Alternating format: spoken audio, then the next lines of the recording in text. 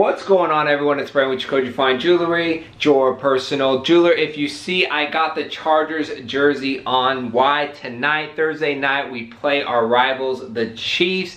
It's Chargers, Chipotle, and chill tonight. That's my agenda. But first, we got to make a video, and I got to give a special shout out to Jason in New York. You might see one of his videos floating around. He's done a few Jacoje review videos, bought some merchandise, and he actually took the time to make a good review um, where he actually tested it via acid. Now, when you just watch these videos, and some of you that have done review videos know it is tough to pick up the camera and try to get it right and do all that. So taking the time to actually test the gold and everything is a lot of work, and I do appreciate that because a lot of people come on and say it's fake gold, it's this, this, that. I never asked him to do a review video. I never asked him to test the gold. It's just um, I think my work and his appreciation towards what I do and the work and the service that I provided him to go the extra mile and just show, I mean, I know he, he emailed me and he was really um, amazed with the product and proud of it. So I appreciate it, Jason. I'm also sending you a few shirts just as a token of my extra appreciation for you and your son. So that out of the way, let's see who won the 2.4 millimeter 22 inch baby curb. All right, so I'm just gonna pick a few comments and answer them myself, more of a Q&A for you guys, which is fun. Nathan wants to know stack or solo. That is the question. I think, and leave a comment down below what you guys think on that. I personally like to stack my five and a half flat curbs I got early on.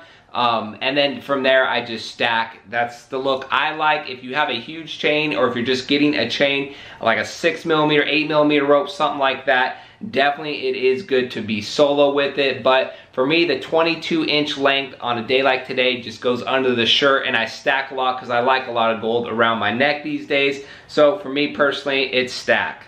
AZ wants to know if you met an alien being, what kind of chain would you give as a peace offering?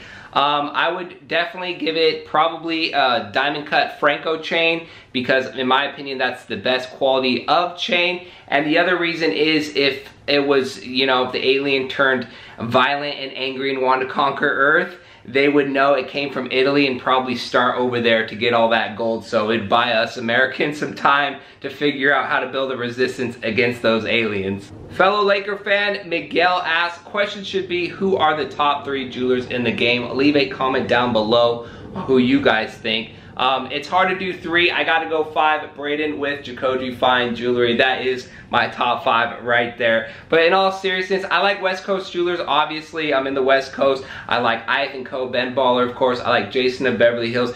To me, when I see a picture, I don't even need to know who did it. I can tell who did it because I, there's just certain things how um, different companies build things with better qualities and different touches. You gotta be experienced by looking at pieces to know.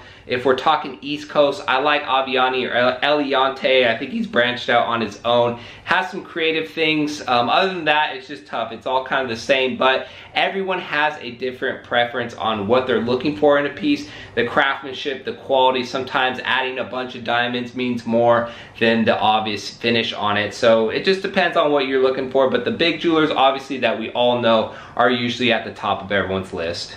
Papa Yao wants to know what makes Italian-made gold products superior, and you can't just say everything from Italy is superior because there are chains coming out of Italy that aren't as good as some of the other ones. Obviously, the cream rises to the top. There's better manufacturers than others. That's the same with America no matter what, but the good ones I think overall the consistency being it's all authentic, it's all legit. You don't have to worry about it because manufacturing is very tough. And when you're talking about making kilos on kilos a day worldwide, it's the it's easy to make mistakes. It's easy to get lazy. It's easy to get lax.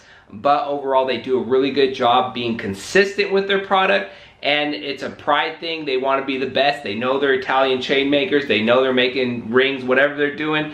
The other thing is just the experience. It's been around for a long time. That's why when the Francos I sell, I know what I'm selling. It's not a matter of, hey, I took it to this jeweler in the mall and he says it's 10 karat. It's That's not the question at all. You're talking years on years, generations of making these chains. They know exactly what they're doing. They know exactly how to mix those alloys to make 14 plus carat if that's what you're buying. So with me as a buyer and buying a lot, it just helps me sleep at night and makes me want to push product that I truly know and believe in.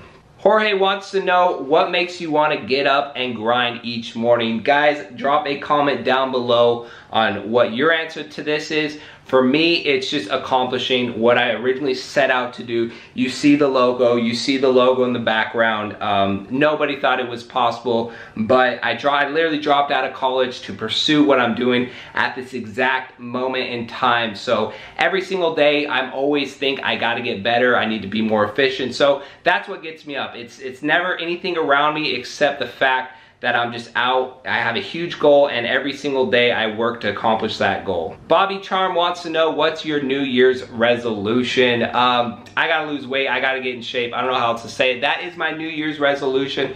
I really wanna make that happen. I've let work and stress, everything just take over that part of my life and I'm done making excuses. The diet always starts on Monday or in this case, New Year's. So that is my New Year's resolution. Let me know down below what your guys' New Year's resolution is or of course, closer to New Year's, I'll be bored um, and I'll make a New Year's like video. So we could wait until then until you answer that. But that is my personal New Year's resolution. All right, enough of that. Let's find out the winner of the baby curb chain via random comment picture. Let's roll it.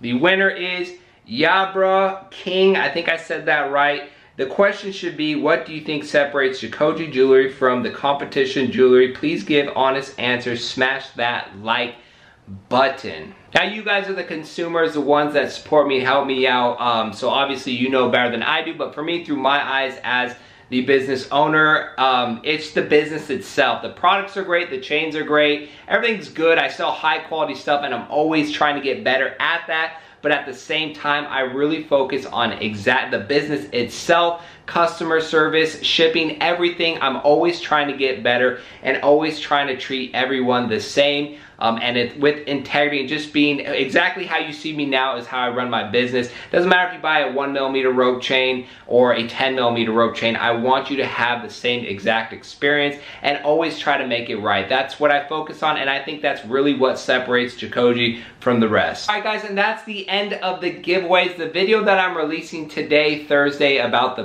purity question is the grand finale giveaway opportunity. So I'll release this video on Friday and then on Friday I'll record the winner of the final giveaway and upload that on Saturday. So the final giveaway is offering a 3 millimeter 22 inch yellow gold rope chain 14 karat gold and I'm gonna include something for a special someone. We're gonna do the medium yellow diamond cut studs to give to whoever you want in your life. So that is the big giveaway opportunity. The rope chain is the highest selling chain. Three millimeter is perfect for every day. I think that's a special chain as well. Some diamond cut yellow gold studs. So um, if you have, if you watch this on Friday, go back to the video that, uh, that I post today, Thursday, and comment extra because I'm gonna do random comment picture on that one. And then on the video on Saturday, I'll announce the winner of the 3.2 or 3 millimeter rope chain, 22 inches with the diamond cut studs as well just kind of give a recap on how the giveaway went.